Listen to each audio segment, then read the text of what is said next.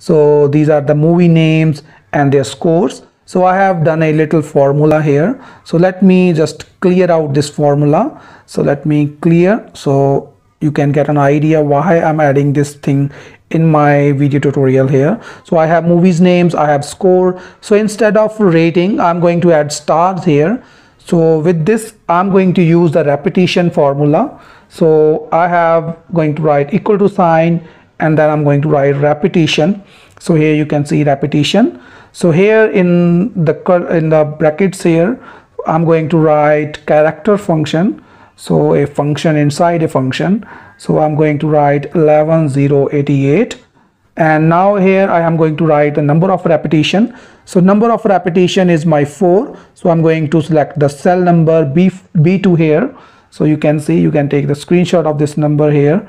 So repetition character 11088 and B2 is my cell. So if I click on OK button here you can see different stars. So the movie northman has four stars.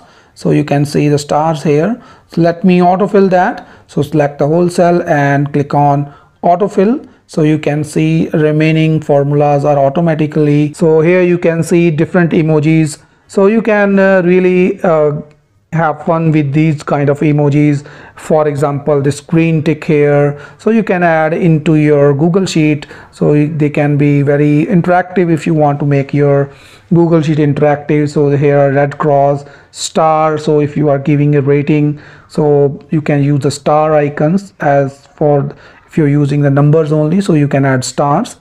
So here you can see guys uh, every emoji has a character set. So but this function this character function too so for example let me delete that so you can have an idea.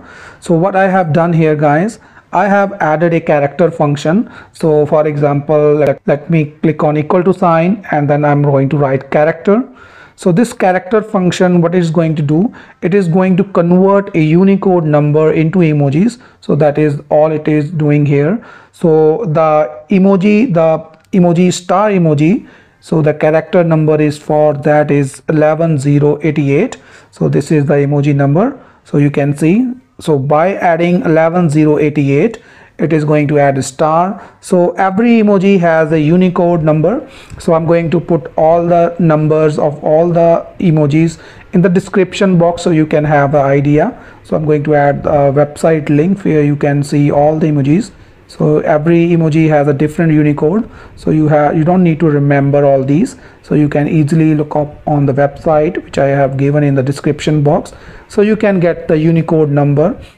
So these are all the decimal numbers so different numbers have different uh, emojis. So what is the practical use of these emojis? So i have made so this is the practical functions of emojis. So i make regularly these kind of videos. So don't forget to subscribe. See you soon guys. Bye bye